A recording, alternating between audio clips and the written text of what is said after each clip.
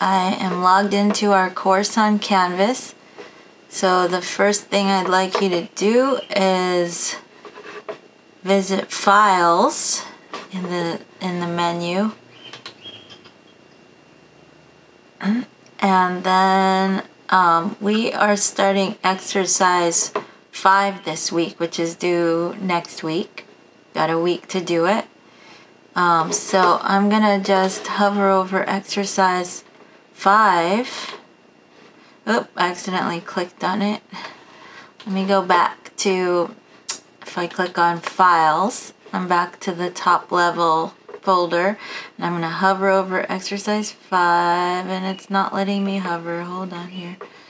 Why is it not letting me hover? Come on. Oh, there. Now it's letting me hover. And then I'm going to go to the dot, dot, dot, click on that, and click download. It's downloading. So for exercise 5, I provide you with a lot of images to work with in Photoshop. And and I always get the question, can I use my own images? Uh, well, you're going to have the opportunity to use your own images for the first Photoshop project. So I would focus on learning the skills and sharpening your skills rather than spending any time searching for images. You can definitely search for images for um, for use in the next project, which is going to be similar to this exercise, where you're going to be um, finding images and various various images and piecing them together to create a new image. That's what we're doing this week with the images I provide. So now exercise 5 is downloaded, so I'm just to go and, whoops, I'm in the wrong folder here. Just gonna go to downloads and it would be the one called course files export and I'm just gonna double click on that. And it's expanding into the exercise 5 folder so that you have everything there. You can always in Canvas you can browse on see what's in exercise 5 in canvas. There's a folder called fruits and sorts a folder called human faces. There's the exercise 5 assignment instructions and there's a handout that i'm providing you in um, photoshop for photoshop tools that we'll be using. But fruits and sorts you can um, you can always double click on these thing these images just lots of uh, images of various fruits and vegetables and accessories to piece together to create a creature. So that's um, one option that you'll have for this exercise. Another option is human faces, combining various um, facial features together to create a new face. So that's another option that you'll have is putting together facial features to create a new face. So either create a fruit vegetable creature or a new face. And there are some different instructions for each of those. And then in, also inside of exercise 5, the Photoshop instructions for the assignment where you have the choice uh, to do human faces or fruits and sorts. If you do both, you can get extra credit. Any questions about that so far? I'm gonna move my exercise 5 folder onto my hard drive. It's a lot easier. I mean, it's on my downloads, but I want to get organized, so I'm going to go to my other Finder window to get to where I'm storing everything for the for this class. So it's a good idea to just put your folder of the week in your own folder for the class on your hard drive. So I'm going to do that now. And then I'm gonna open up the assignment from from on the PDF file. So now it's open in Acrobat. Please disregard where it says look in class files if you can make a note of that. This is just this should mean look on Canvas and get your get your materials for exercise 5 in your exercise 5 folder from Canvas. And you know these so the, this top little two lines of instructions please disregard. Just skip to look at all the images and decide which one you might combine to create a new face. Um, so either um, either human faces or fruits and sorts or you may choose to create a face or not only a face you could do a whole creature I should say with the fruits and sorts images. And for extra credit, you can do both. Um, there are a few more specific instructions of, um, about each of these, whether you choose to do the human faces or the fruits and sorts. So for the human faces, you're just going to be choosing one image for the head and that will encompass that will include the background of the image as well um, and another image for the eyes, another image for the nose, and another image for the mouth. So you'll be you'll be cutting out the eyes, nose, and mouth and moving them onto the head image. And then fine-tuning them with different methods that I'll show to make it look as real as possible, as natural as possible. Um, there are going to be a few extra steps on this part if you're doing the human faces that I'll go over in, in more detail than is is listed here in the instructions. So if you're going to do human faces, make sure to take good notes for that part where I talk about cropping and resampling to 6 by 6 inches at 200 pixels per inch and then resampling to 700 pixels per inch. That's a little, could be a little confusing, this part. And that's only if you're doing the human faces. Moving on to fruits and sorts, you don't have to do these steps on fruits and sorts. With fruits and sorts, you can put together any of the the images to create a creature and then in the end um, you're going to search for a background image and drag the creature into the background image. So a little bit different for finalizing on fruits and sorts than finalizing on human faces. Okay, but I'll be going into the details on that step by step. Um, let me just go ahead and show you a few examples. So let me go get my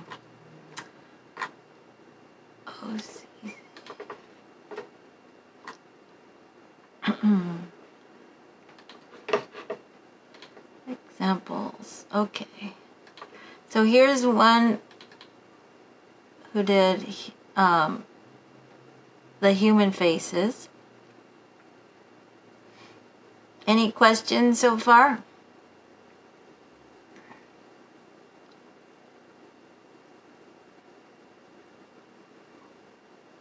Okay, I got my workspace for painting, but now we're going to be doing um, work, just photo manipulation. So let me just switch my workspace to be ready for um, working more with photos rather than painting. I don't need all this paint all these paint panels up so I'll just go to window workspace and maybe I'll just go with essentials for Photoshop. And um, you can see the different layers here layer for an eye another eye. It's always good to label your layers. This student did not really label her layers. But good practice in staying organized is labeling. But you can see how basically she's replaced, she's covered up the the features of the original head with all new features and it looks pretty believable because everything is blended nicely and um, color color corrected. So we'll learn about all of that all those techniques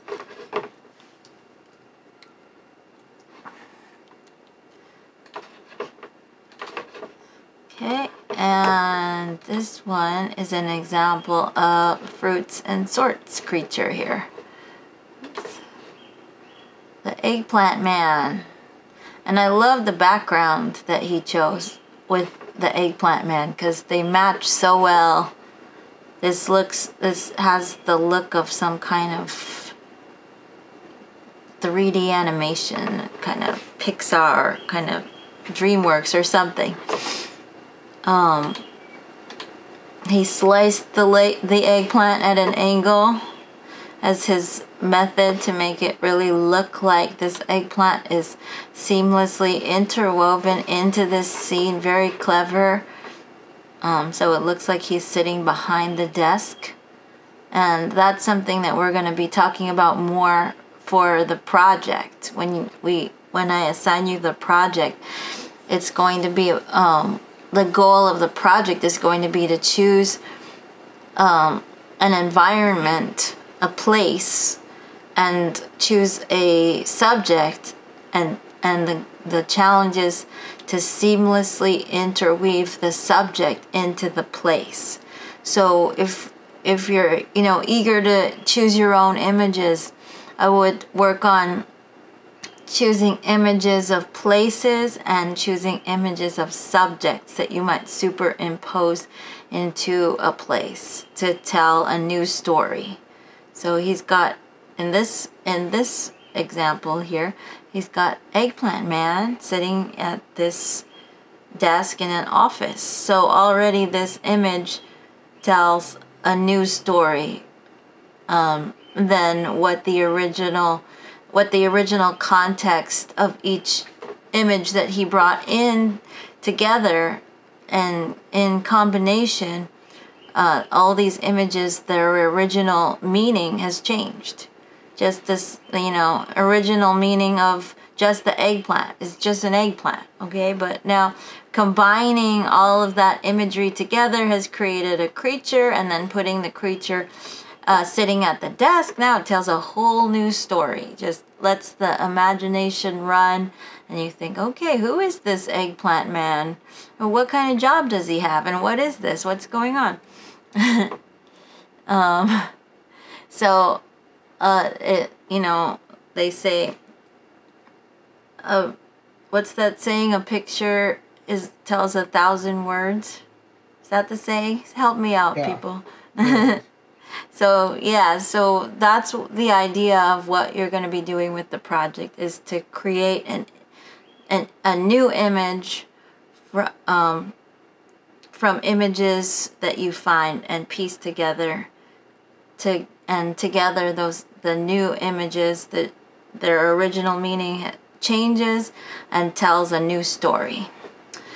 So but for this for this week it's all going to be all about just using the images I provide to sharpen your skills with um, making selections around imagery, cutting imagery out, moving an image to an into another image um, making everything look very clean and um, and really sharpening your skills to to create a new original image from from found images all right so then I have another example of if if you want to do the extra credit, here's an example of someone who did the extra credit. They did both the fruits and sorts, and he's even got some painting in there. So, creature floating in outer space above the earth, very cool. And then his human face. This is together and combined in one PDF, which I like for I'd like you to do if you're going to do the extra credit is just turn in one PDF that combines both images. And then we have, whoa, this is a scary, scary um, Juanes, the rock star. well, it was Juanes. Now it's a scary monster guy. So, um, so that's the extra credit. All right. Okay, so um, what would you guys like to see me demonstrate first? Human faces or fruits and sorts creatures? Creature. Um, human face, okay. Okay, yeah, that's usually what is requested. Okay, let's go with with human faces. All right, so um, I'm gonna click on Finder because I'm on a Mac, and I'm gonna click on human faces. Oops, I'm not gonna do this. Is from my external drive. I'll go to my hard drive of my computer instead. And I'm gonna go to my folder for this class where I copied exercise 5 folder and I'm gonna click on human faces there. And I'm gonna switch to icon view.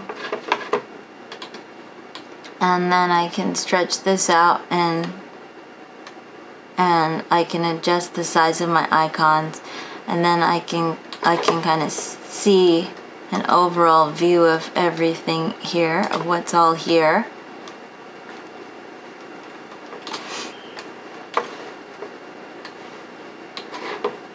Let me see if I can get them all to fit in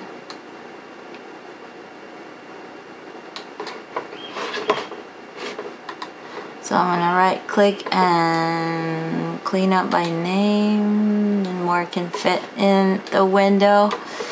Okay, do you guys see um, any that I that you would think would be good to use for the head, the overall head? Just do arrange.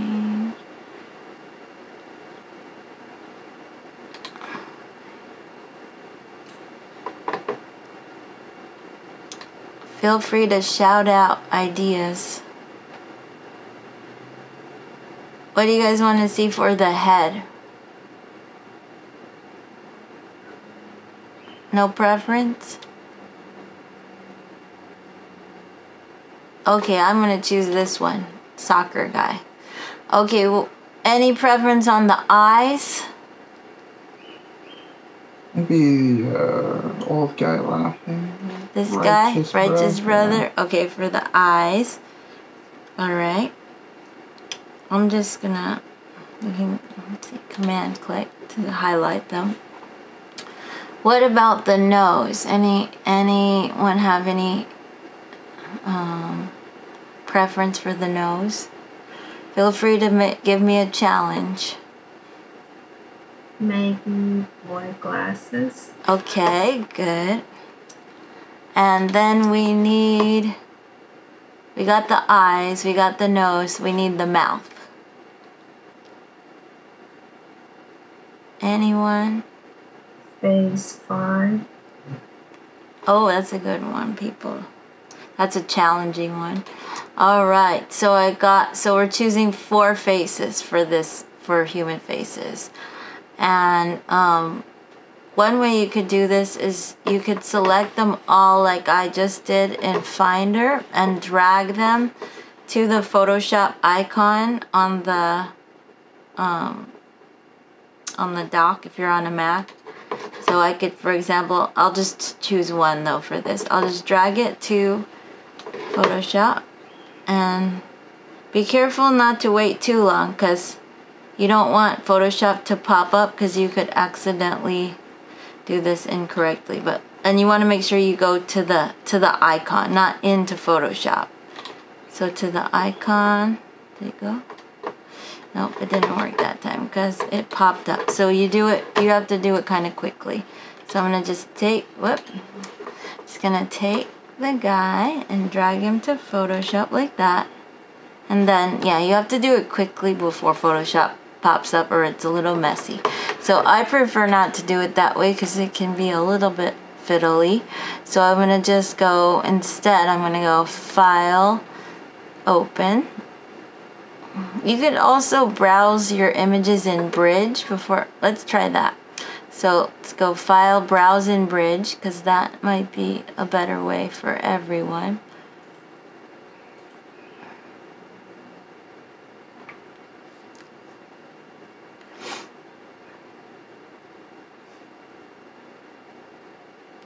Well, okay, so now I'm in Bridge and I can go to, um, I'm in Favorites here, but I want to go, let's see, where would you like to access files? Okay. Okay, we'll let it access those. Okay, and then I need to go to my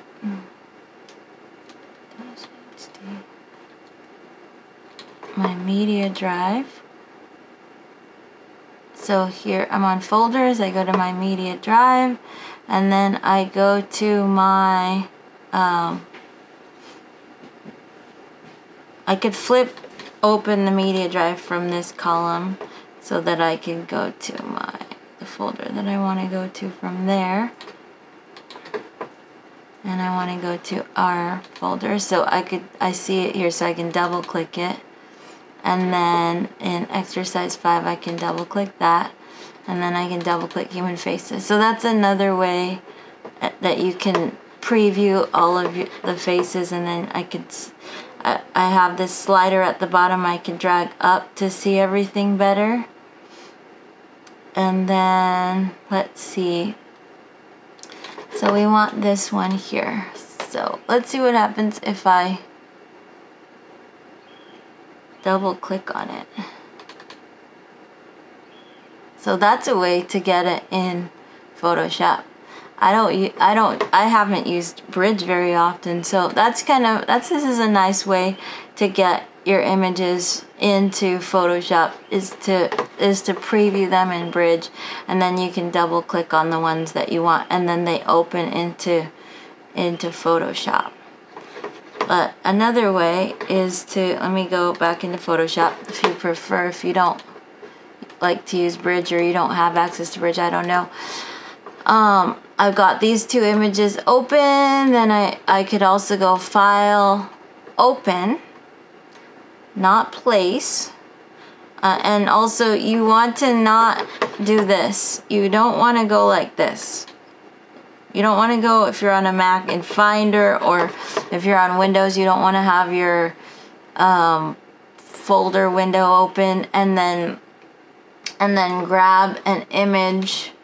We said we want the boy, right? Let's say we, we want, what you don't want to do is, you don't want to take an image from like the Finder window or folder window and drag it to an image in Photoshop like this. Don't do that because that's not opening the image in Photoshop. We want to open all the images as separate files or separate documents in Photoshop.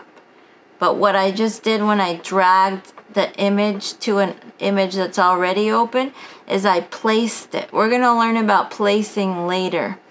And it's um, and then if I were to press return to apply that place or click on the check mark up above, which I did, now it's it's brought it in as a separate layer that's a smart object layer which is something we're to learn later. So I, I don't want you to do it that way. So avoid dragging and dropping images into images because that's just to make your life a lot more complicated if you don't know already about smart objects and it's gonna get it's gonna be me a messier way to work if you do it that way. So don't do it that way. I'm just gonna throw this layer in the trash so that you want to have images tabbed together like this and each image only has one background layer that's locked. That's how it should look.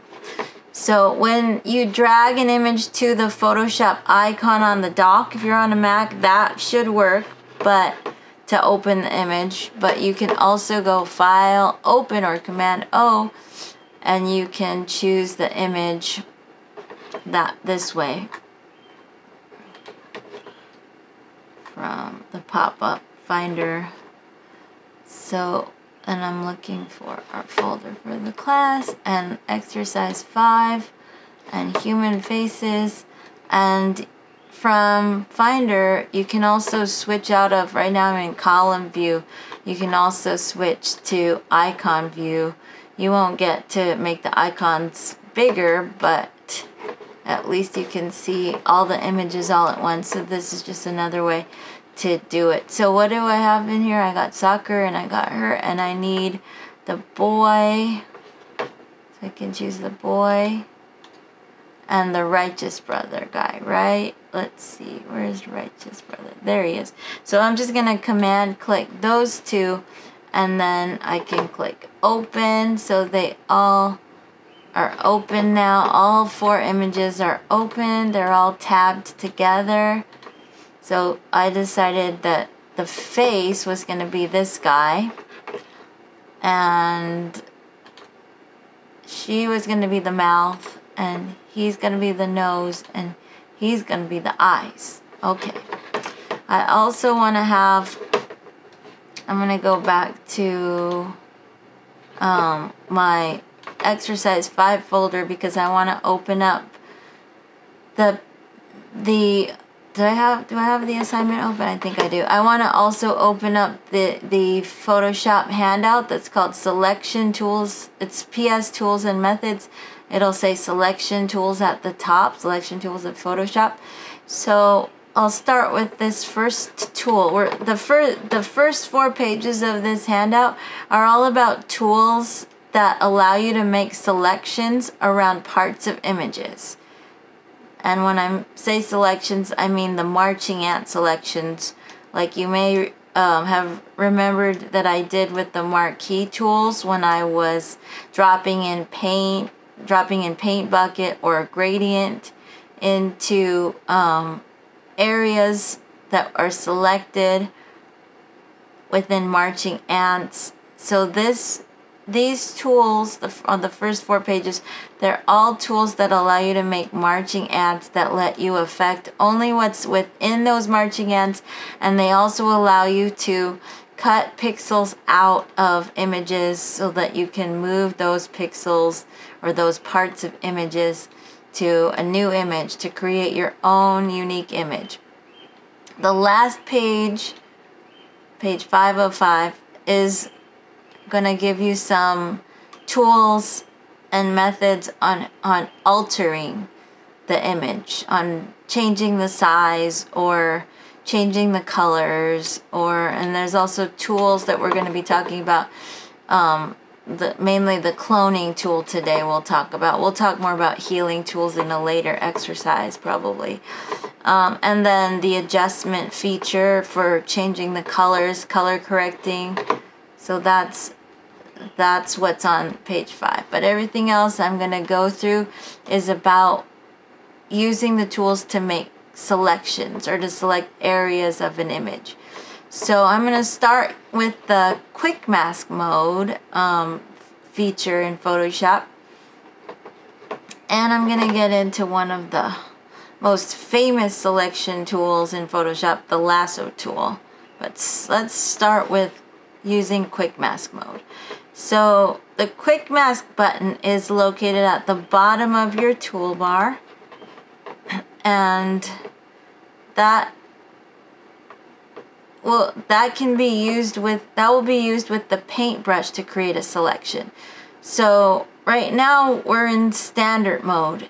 When I click on the quick mask button down here it's like a rectangle with a circle in it. Or you can press Q to get to it. Now I'm in I'm in quick mask mode, so some things look a little different. Like the layers lit up in a strange way. That things look a little different. It's like we're in the twilight zone now.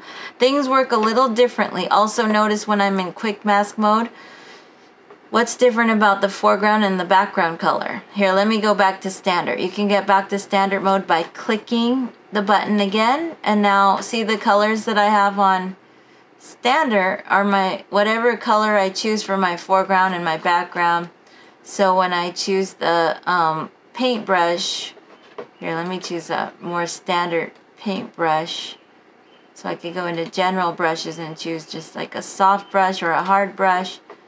And then, so if I were to paint on this image, I would be painting in green paint. I'm going to undo that. Or whatever color I click on here, like I, let's say I make a, it blue, I would be painting with blue paint.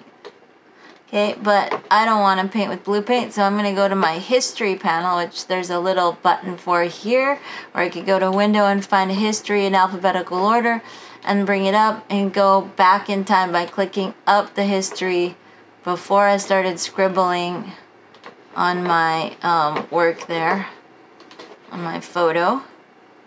And then we saw last time with the with the marquee tools, right, like rectangular or elliptical, when you draw marching ants and then you take your paintbrush and you start painting, the paint is only gonna work is only gonna affect inside of the marching ants. Thank goodness for history. I want to get back out of that. Okay, so that's marching ants. So you can click outside to deselect or hit Command D to deselect or Control D on Windows. Um, when I make a selection like this with the marquee tool, and then I go to quick mask mode, it changes the selection to be the area that's unmasked and everywhere else is um, is is defined as masked which is much like when you um, how painters work. So when painters want to paint a very straight line, they what do they put down on their canvas? Any any painters in here?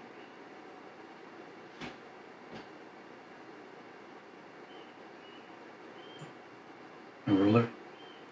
A, a ruler could be one thing, but let's say you just want to throw paint all over your canvas and then you want to have certain areas, like you want a border that's a nice, clean, straight edge border all around. What? Tape, tape. tape. right, like masking tape, right? So they use special yeah. art tape that's like masking tape, but it does what math like the hence the the name masking tape. So that's exactly what hap- what we have here. When we're just looking at the view of this image um, with the selection, instead of the selection as within the marching ants, the selection is the unmasked area and everything else is masked. It cannot be, it cannot be touched. Um, when you go to standard mode, you see how that works when you're painting through the marching ants and nothing else is affected except what's within the marching ants. But the purpose of going into mask mode is really to redefine the selection edge. So, and you can edit that selection edge with the paintbrush tool to do a more freeform mask. Right now, my, um, I, you see that I've got this green tint over everything, and that's not because of any green color that I had in my foreground or background color. That's just what my mask my mask mode options are set to because the last time I changed it to green. But normally by default your mask should probably be red by default. The Rubylith mask color that's the standard color for mask for um, what's considered masked, the masked area. So I'm going to just double click on my mask mode button now and it went into standard mode now, but now you have these quick mask options that where the color can be on the masked area, which is the default setting, or it can be over the selected area if you prefer.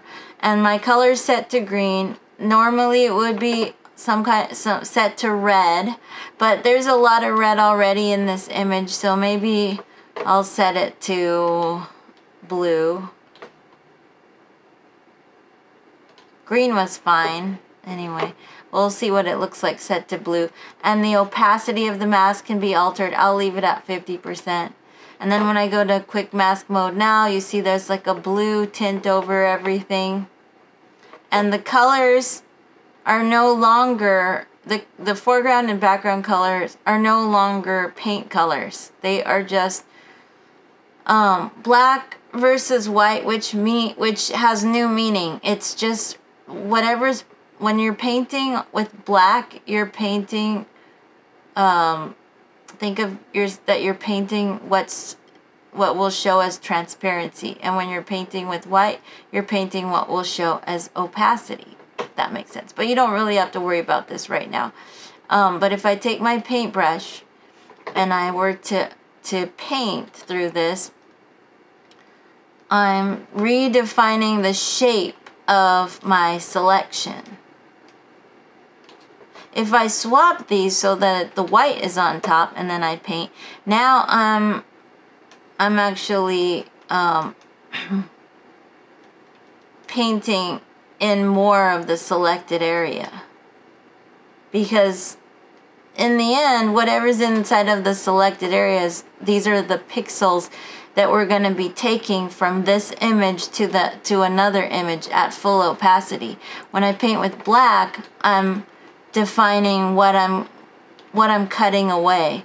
So I could just paint around this eye like this and decide what uh, what part of the eye I want. You can also use your eraser. Keep in mind if you, oh my eraser opacity set very low. I want to bring it all the way. So you can also erase. Uh, also keep in mind that if you use a soft brush, either on the eraser or on the um, on the paintbrush, so if I choose a soft brush, and I am painting here. Or or with the eraser I erase with a soft brush. Um, then I'm gonna have that soft edge which it will be it will actually benefit me for for the faces to to have a softer edge. But I'm just gonna uh, leave this edge here hard so we see the difference of of what will happen when I move my pixels to another image. I'm to go back now. So I've used my paintbrush and my eraser and also played with swapping painting with black or painting with white back and forth. And now I'm just going to click um, the quick mask button again or press Q to get back to standard mode and it redefines the selection. So that's the purpose of working in Quick Mask, just to redefine the selection. Now, I can, next I would go to my Move tool, the tool at the top right there, and click and hover inside of my marching ants and you'll see a you'll see um, um like a arrow head like a move tool with a pair of scissors icon there. That might, that means you're in the right place. If you're on a selection tool, like if I was on my elliptical marquee and then I hover over, it will let me move my selection, but it won't let me move pixels. When I go to the move tool, in order to move pixels, you have to be on the move tool because you'll see the scissors. That means you're going to physically just grab all the pixels inside of this selection and move them to another image. So my destination is soccer guy. So I'm going from righteous brother and I'm going to drag the righteous brother's eye to the soccer player. And notice I left a lot of skin area around the eye. You want to do that so you have a, you have more to work with when you go to blend and make things look more natural. So I'm just going to drag this up to the tab that says soccer and drag down. I did not release my mouse until I hover over the image. Then I'm going to release my finger off of the mouse and now I've successfully moved the eye into the destination. And now you can see how because I painted with a soft brush on one side, it's feathering, it feathered the image on that side and um, you can see the image is hard edged on the other side. Okay, I'm going to leave that there for now and go back to the Righteous Brother image again and I'll show you another method of doing this starting with the lasso tool. So there's my lasso tool. There's a little animation that pops up to show you how to use it. So it's just a like a free form drawing tool to draw in your own selection as opposed to um, starting with an elliptical marquee. I'm going to use the lasso tool this time to to draw in another selection. And I can click outside with the lasso tool to deselect an existing selection. Also, when you're on the lasso tool, check out what the options are on the in the control panel. I like anti-alias to be checked because that gives you kind of a smoother look. Smooths the edge transition is what it's saying it does, which is exactly what it does. It makes the pixels look smoother and finer as opposed to chunkier edged pixels. So I like that. And then, um, so I'm just gonna draw around this eye by just clicking and dragging and drawing and giving a, a lot of area around the eye, even including the eyebrow. Now, let's say I'm going to zoom in with Command Plus, and I'm using my spacebar to move around to toggle into my hand tool. Now let's say I went a little too close to the eyebrow. If I want to make a change to my selection with the lasso tool, if I start redrawing, it'll make I'll I'll lose the existing selection. So let's say I start or oh well now I'm moving it. Okay, let's say I start drawing. Now I just erase the previous selection. So I'm going to use Command Z to undo. But if I just want to add to the selection, I could either go up here to the the um, add to selection button or if I hold down on the shift key I toggle into the add selection button so now I'm holding shift and you see a little plus appear next to my tool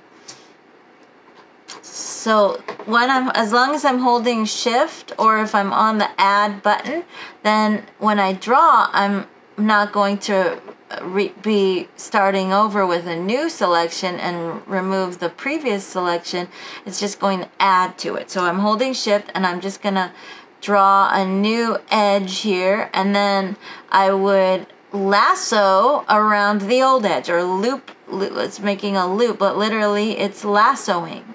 And the lasso pulls out the old edge into the new edge.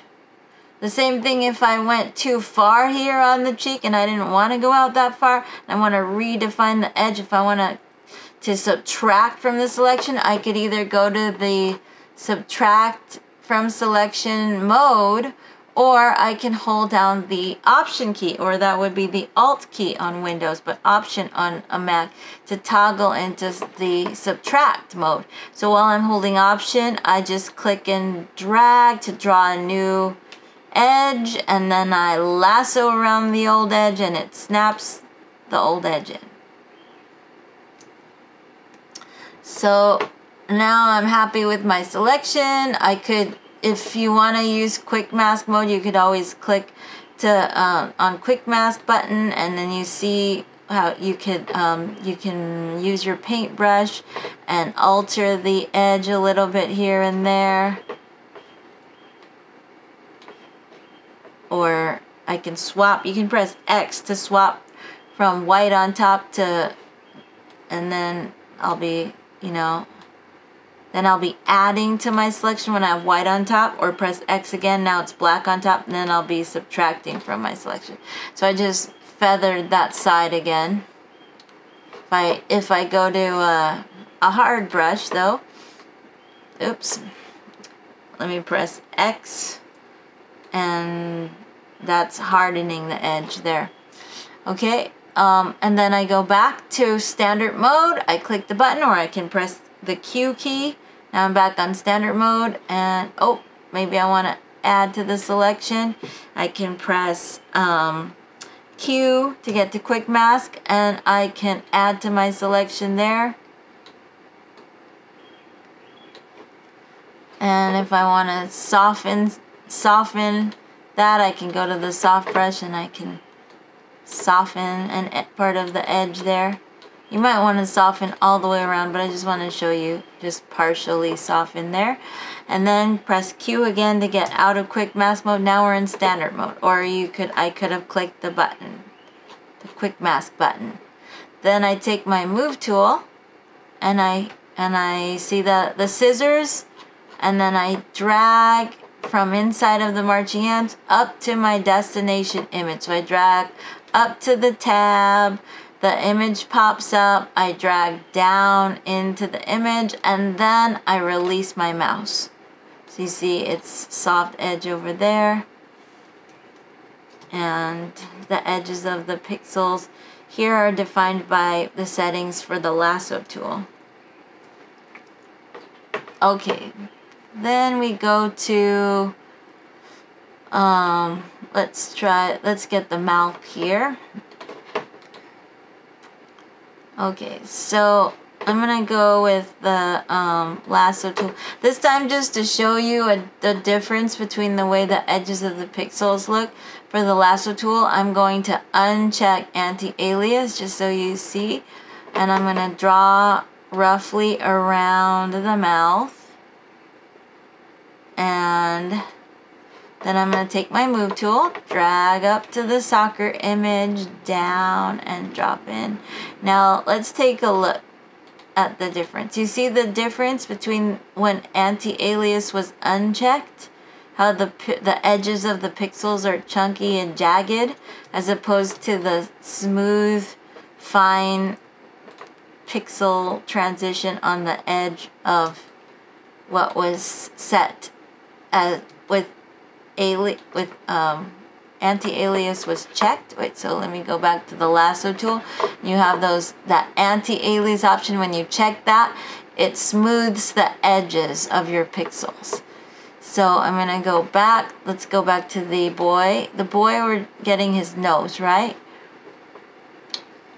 Okay, so we take the um, lasso tool. Lasso tool is a good one for, for this and this time I'm going to check anti-alias but I'm going to do something else. Notice also with lasso there's a feather option here so you could put a number of of pixels that you want to feather. So let's say I want to feather all around five pixels. And then I'm gonna draw around the nose and it's okay that if I get the glasses in there I can take them out later just kind of drawing around the nose and closing off there. And then I'm gonna just take my move tool and drag the nose up to the soccer image. You can see how it softens the edges. Let's see. Oh this is a big one. So you can see because I had feathers selected it softened the edge all the way around Okay, so now we need to um, scale things down, get things ready. So the eye. So this is where you use page 5, the last page, to start altering your images. So um, the, there's a little bit about feathering there. You can also go to up to select modify feather select um, when you have like when you have a selection here. So you can go to select and then modify and there are different options and one of them is feather. It's another way feather and then you can put in the number of pixels there but but it the option was already there with the lasso tool so I didn't have to do that. And um, what I want to talk about is using the transform feature. So you can go to edit, transform, but command T is the shortcut on a Mac, control T on Windows. So this will allow you to do a lot of different various transformations. So I'm going to go to my soccer picture here. And this may be a good time to save this. So, um, well, it's already a Photoshop file, but you're some chances are you you're you working with a JPEG. So when you go file save, here I'm gonna cancel this. Let's do file save as just because you don't want to overwrite the original.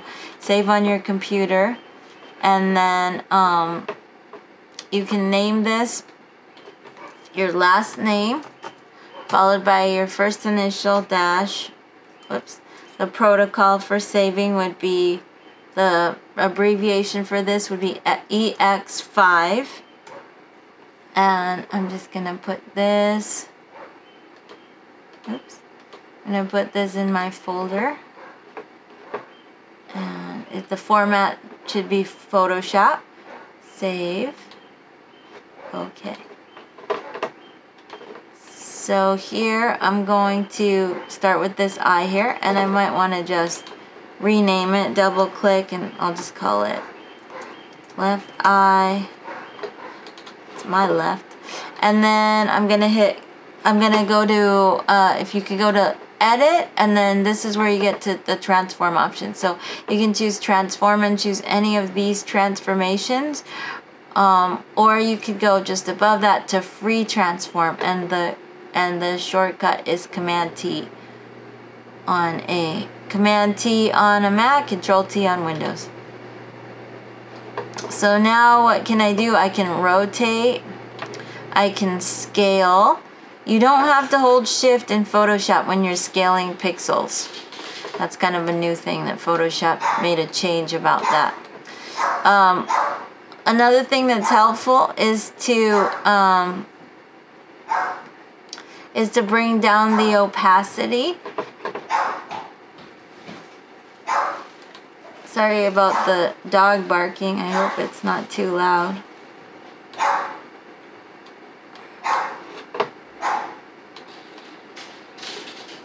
Oops.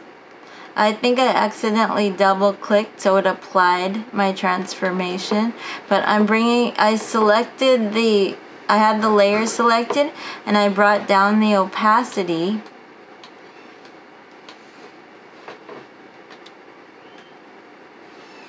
And then I can see the original eye underneath so I can line up the, the iris, the irises so that I can get a more realistic look and size. I'll bring up the opacity again and I can hit command T again. Oops, I just have that layer selected. Hit command T and then I have my transformation box and I can scale it. And let me bring down the opacity for the layer from the top of the layer panel and just kind of adjust. Might want to zoom in with command plus just to make sure, let's see, to kind of line up the edges of the, the iris.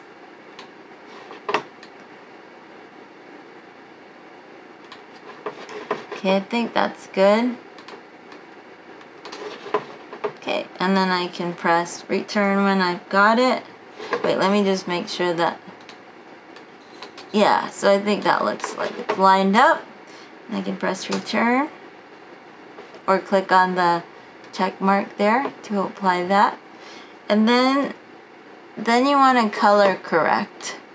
So, but uh, I think to save some time, I'm going to um, have both of the eye layers, the eyes on one layer and color correct them together. So let me just get this other one situated. Command T on this eye and this other eye and rotating it, bringing down the opacity, scaling it down so that the irises match.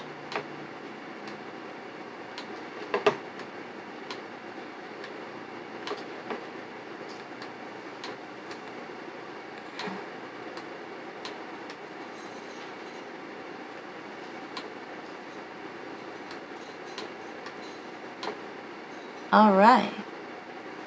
So that looks pretty good. And then I'll just bring up the opacity again and press return, return again to apply that. Actually, this eye looks a little too big still. Command T, scale it down a little bit, bring the opacity down to check here. Yeah, that looks better, right? And then bring it up and press return, return twice.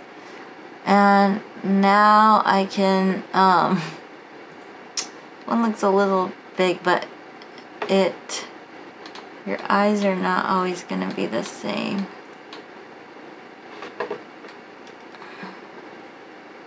Maybe slightly smaller, huh? So, um, it's the time that the class is scheduled for. Uh, I'm going to continue the lesson until about 9. So you're welcome to stay for the live lesson or watch it later on video. Okay, I'm going to go with that. Bring up the opacity. Press return. Okay, that looks good. So then I'm going to, I'll just merge, I'll just, I'm going to merge both of these together. Um, the two layers, I've highlighted them, the two eye layers. And I'm just going to go to the flyout menu on the layers panel and choose merge layers. And then I'll just rename this one by double clicking. I'll call this eyes. So you might want to keep your eyes separate. I'm just merging them so that it's quicker to, to color correct. Okay, so then I'm going to go to to color correct. This is also on your last page of your handout. The image adjustment feature. I'm going to go to image adjustments. So while I have that layer highlighted, the eyes layer, I'm going to go to image adjustments and I'm going to work first on getting the lights and darks and contrast right. So you could use any of these for that, these top ones, but I personally like levels. So I'm going to do levels. And so with levels, you have input levels and you have output levels. So the input levels allow you to adjust the shadows and midtones together here or just the midtones can be adjusted or just the highlights can be adjusted. Well, actually, when I'm dragging on the highlights, it's adjusting the highlights and the midtones together. But it allows me to just adjust my midtones by themselves. Uh, down here with output levels, when I drag the light, the slider on the right down, it's darkening everything up, dimming everything down together. When I drag the slider on the left towards the middle, it's lightening everything together as opposed to these top three. It's kind of just working on more adjusting the contrast a little bit separate adjusting each of the the shadows midtones and highlights more separate so what I want to do is I want to look at the colors in the face and try to match the contrast and the the the brightness in the highlights and the darkness in the shadows. I want to match that to what I what to the eye. So um, on the soccer player's face, there's not so much the shadows are a lot less dramatic than the shadows in the eyes here. So I want to work on softening that so that I have less contrast without making it too bright or too dark and without adjusting so that the image gets loses quality. So let's see. I think maybe the output levels could help me out here because yeah, because I need less contrast probably there. And when things are starting to work, you know because you start to lose the seam a little bit. The seams start to disappear. Let's see what this looks like before. So I'm going to click preview, check before. See, you see a starker um, seams. And then check on and things are maybe going down a little bit. Let's see. Let me just adjust it a little bit here this way. Yeah, so more less less contrasty. That's what we're going for here.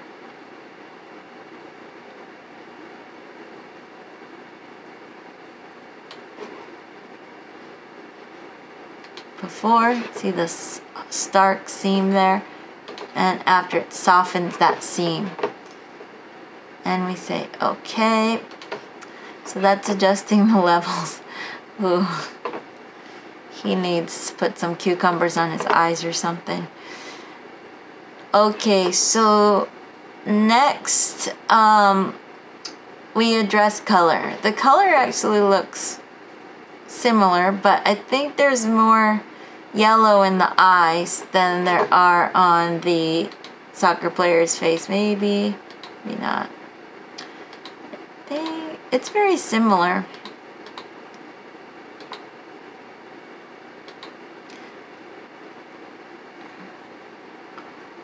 Maybe a little. I think the main thing was the contrast for this one, but maybe it's a little more warm. Could just do a little bit of an adjustment. So, okay, so I'm gonna go to, um, yeah, maybe I could bring down the yellow a little bit, cause, and bring yeah, for the eyes, there's a lot of yellow in the eyes and maybe a little less yellow in the face. So I'm going to go ahead and go to image, adjustments again, and this time I'm going to choose color balance. So with color balance, you can um, adjust the midtones separately from the shadows, separately from the highlights. So midtones are selected.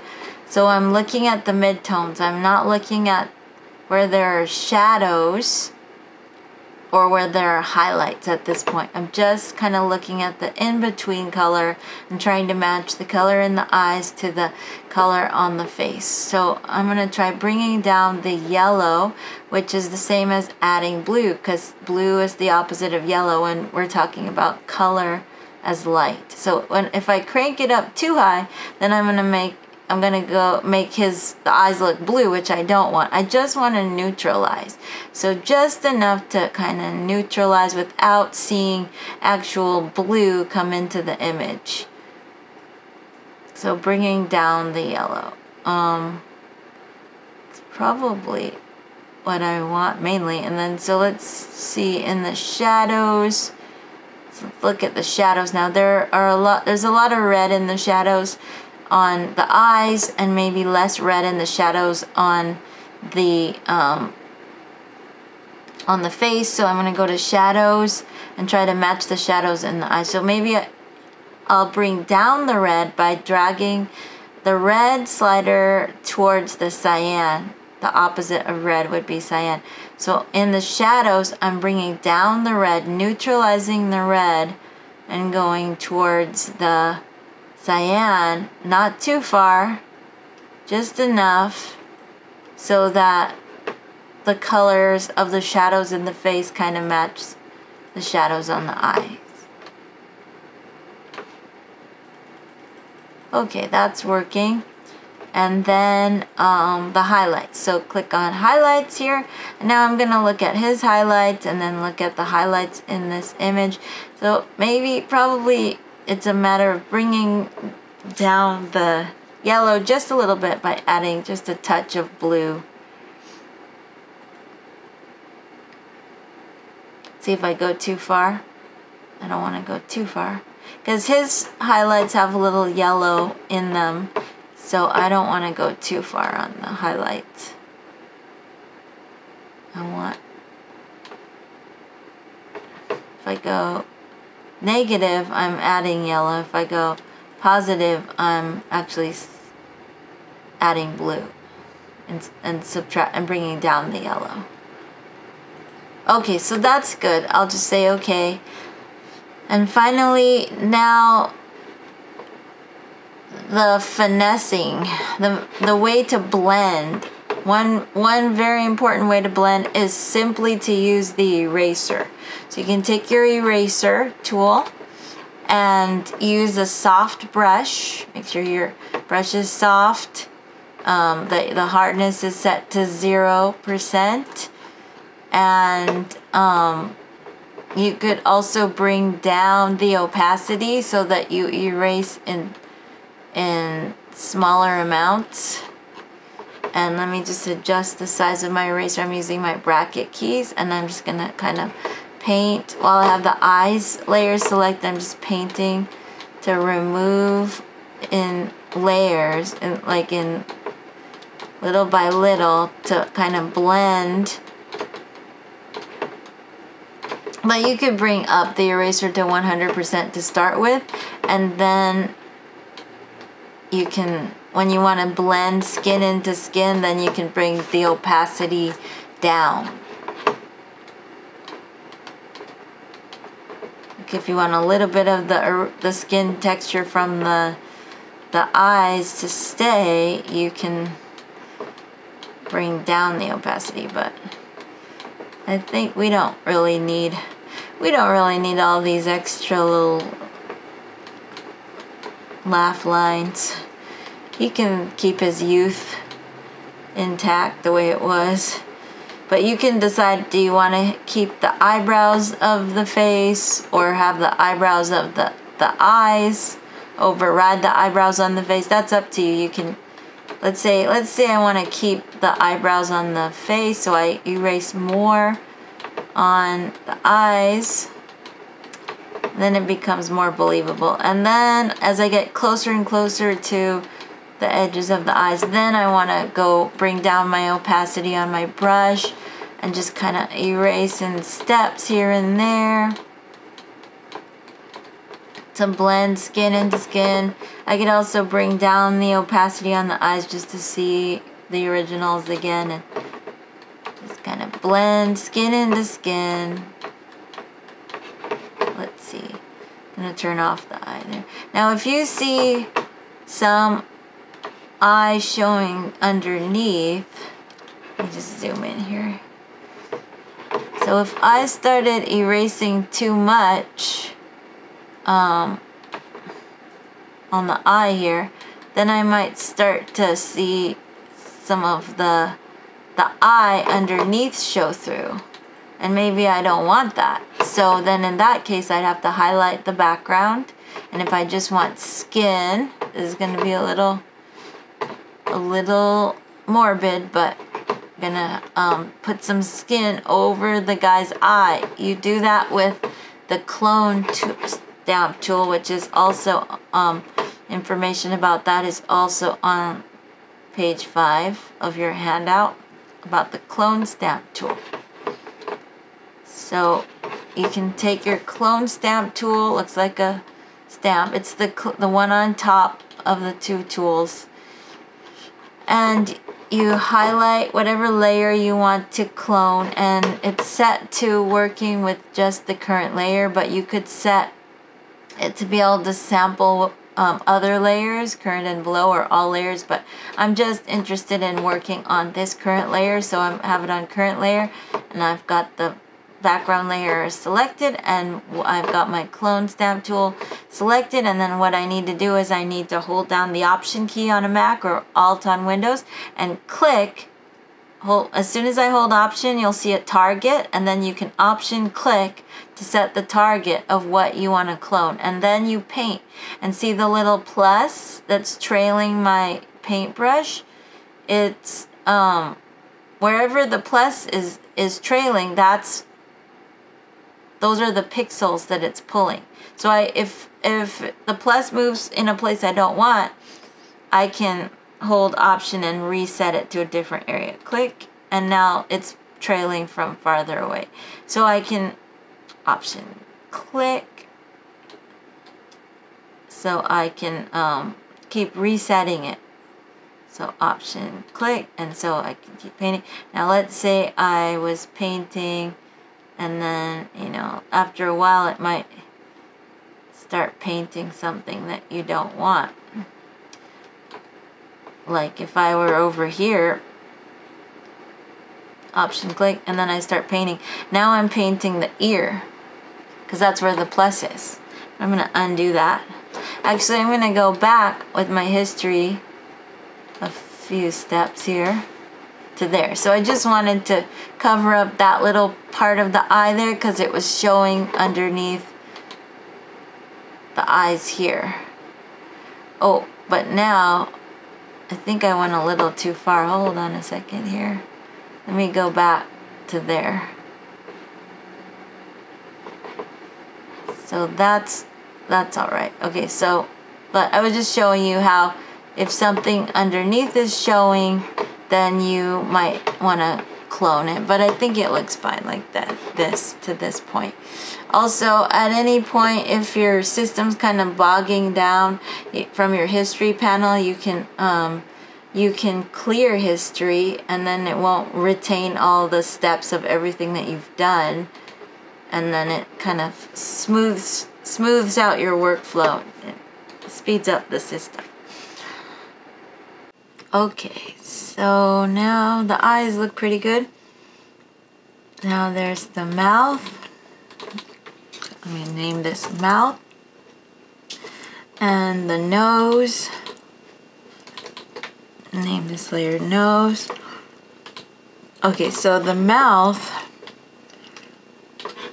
And on my on my move tool, by the way, I have auto select checked so that I can just click on any layer and it's automatically selected.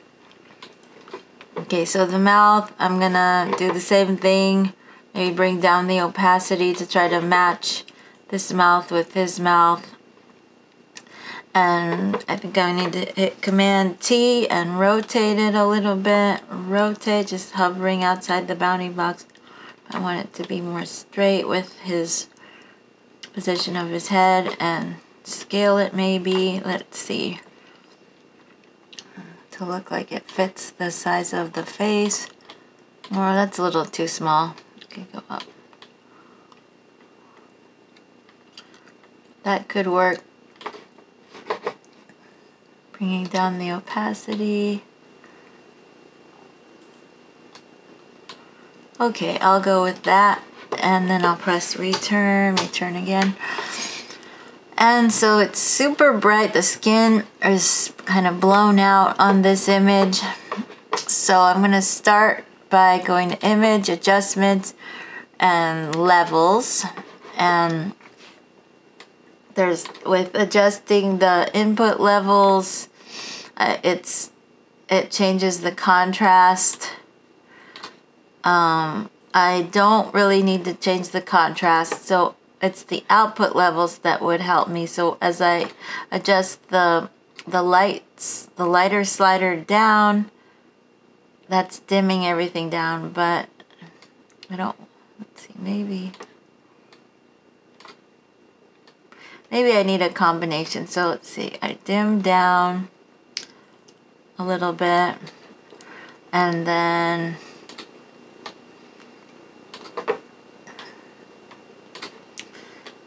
adjust, maybe we do need a little bit more little contrast here. This is a challenging one, but it's probably as good as I can get it.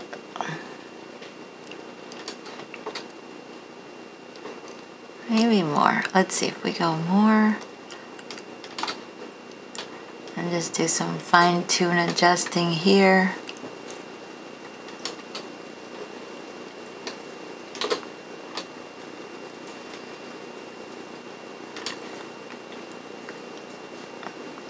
Okay, so that kind of dims down the skin tone there. So I'll say okay there. And then we definitely need to work on color here. So I'm going to go to image, adjustments again, color balance and we're working on the midtones so I can bring up the reds a little bit. There we go. On the midtones to match kind of the red in his skin more and maybe bring up the yellow a little bit but bring some color back into skin here and shadows maybe add a little bit of red in the shadows too. And see, then the seam starts to disappear, so then you know you're on the right track. And in the shadows, let's see. I guess that's good for shadows. Let's see, then highlights, looking at his highlights. Maybe I want some more yellow in the highlights. Yeah, I think that's helping. Okay, so then I'll say okay there. And then I want to use my eraser and erase my soft brush. Erase, oops, am I on the right layer here? Oh, I've got my opacity way down. I'm going to bring up the opacity on the eraser. Maybe make the eraser larger. Kind of paint, paint, paint around maybe smaller now, the bracket keys. And now I'm seeing more of his mouth showing through.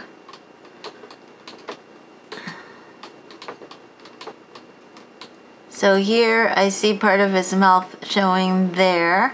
So I could turn off this mouth and go over to his, let's see, let's bring this back up.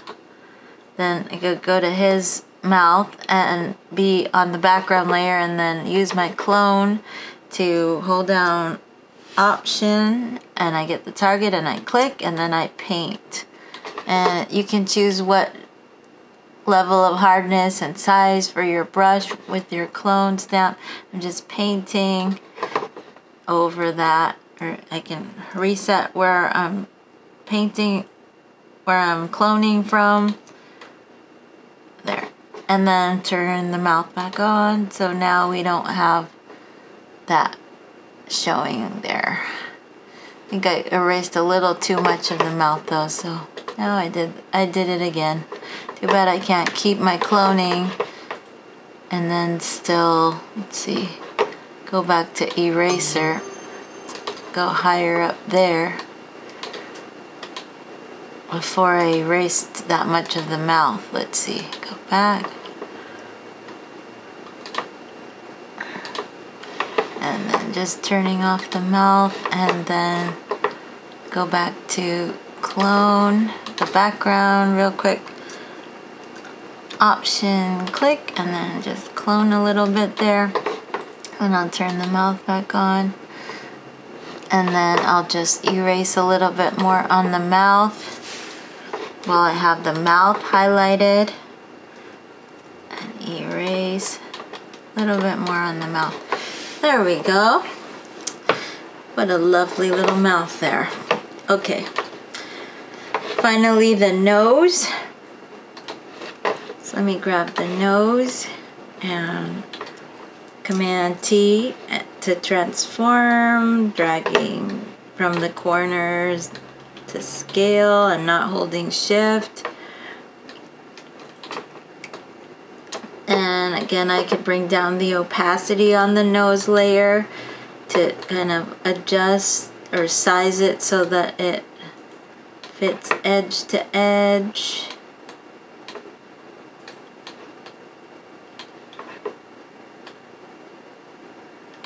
Bring up the opacity again to see how it's looking.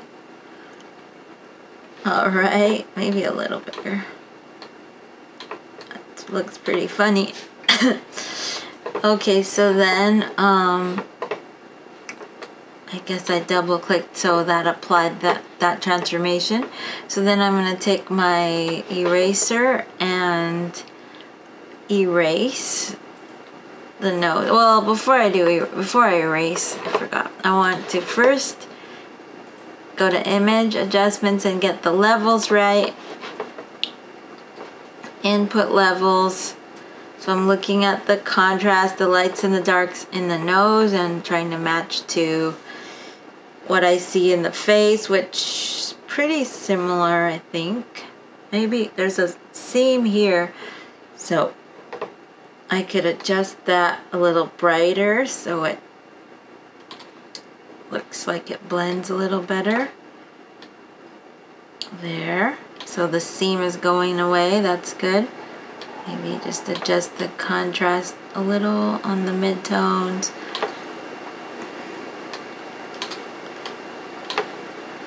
Play with the input out the output level. Maybe could uh, I think that's good the way it is.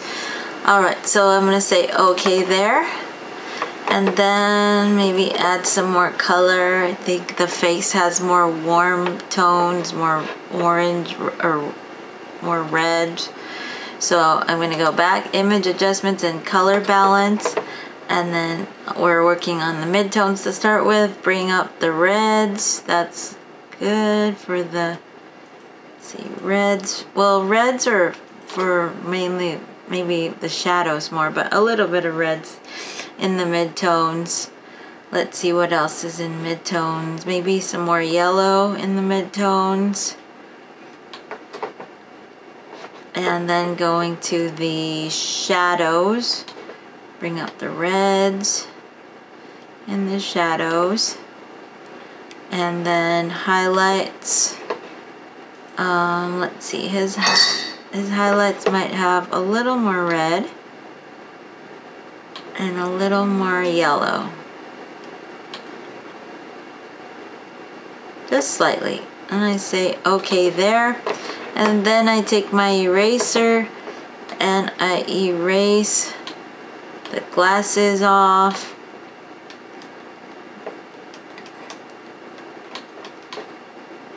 And I can erase in in steps here the skin.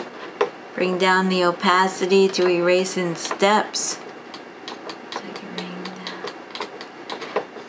And if I wanted his nose to be cloned on top of this little glasses bridge, then I can just take my clone and um, option click here and then paint over it a little bit. Option click.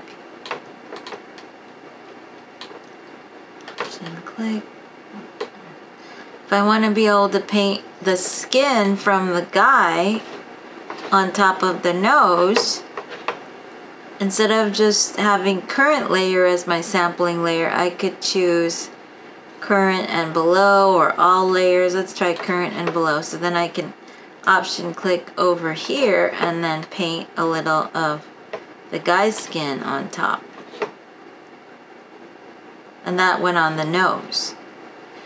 But then I'm going to go back to my eraser and just erase with I brought my opacity down. Just kind of smooth things out a little bit here.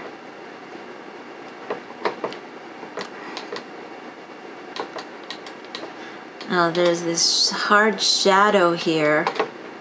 So I could probably use the clone stamp to soften that up. So I'm going to take the clone stamp and change it back to current layer to just work on the nose and then option click and then I can paint with my opacity down with my clone stamp too just to kind of lighten things up a little bit soften that hard shadow.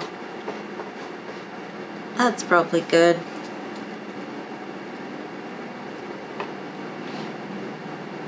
or maybe I want a little bit more of this shadow so option click here bring in this shadow actually this would be this shadow is coming from the guy. So if I want a little of the guy's shadow on top of the nose then I go back to current and below and option click here and then I can paint a little more of that shadow in. There we go feel like the nose should be rotated a little. So I hit Command T, rotate it just a little bit. There we go. Press return. Okay, so that's kind of, so that's a funny one. All right. Um, probably want to clone out the, I guess, mustache line there a little bit so it so I could go to the guy layer and it's I could set it back to current option click and then paint to soften that mustache there and here oops I think I got a little something there I didn't want. Okay, so that's good. Looks much better. Actually, the nose is looking a little too bright now. So I'm going to go back to image, adjustments, and maybe levels and try uh, dimming it down a little bit here. Maybe output. Yeah, I think output. There we go. Much better. So this was before, this is after, and it blends better. I say okay there. Okay, so finally the the steps that um, that need a little bit of note taking. I'm gonna save this.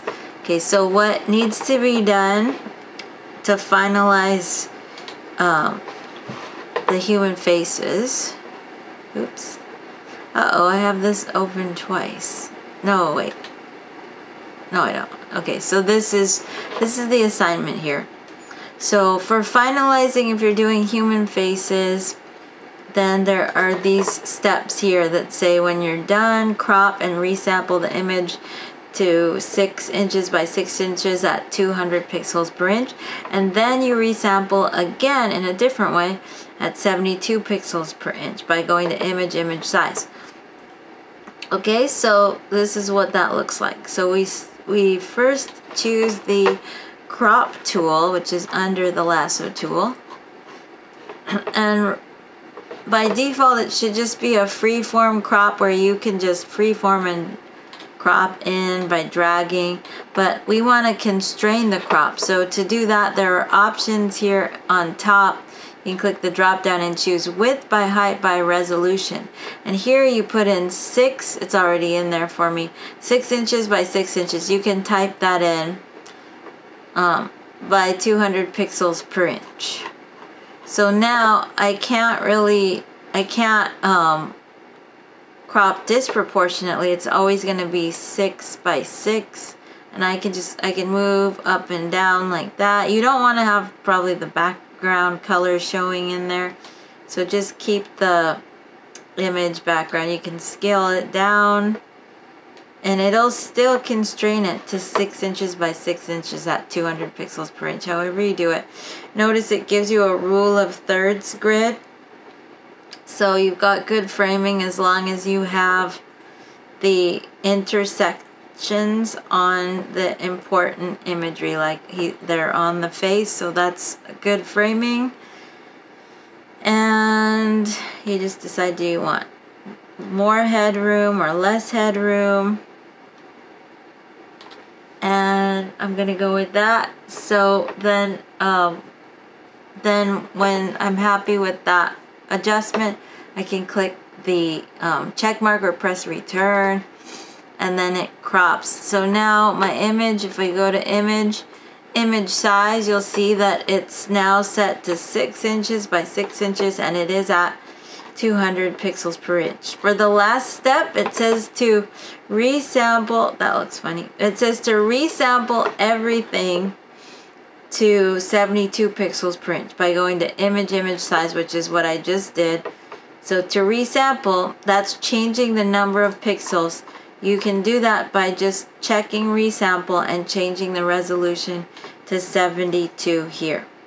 And it actually changes the number of pixels in dimensions. So before it was at 200, you see the dimensions are 1200 by 1200, but when I change the resolution to 72, it changes the number of pixels that the image is made up of. Now it's just 432 by 432, but it's still going to be 6 inches by 6 inches in any case, but a lot smaller image. So we're just going to say okay there, and then that's done. So that's what you turn in and you can click off your crop tool by clicking on the move tool or something else and then that's what you would turn in. So I'm going to save that and let's move on to fruits and sorts. So I'm going to close this, close all these. I don't have to save these. These are my source images here. Okay,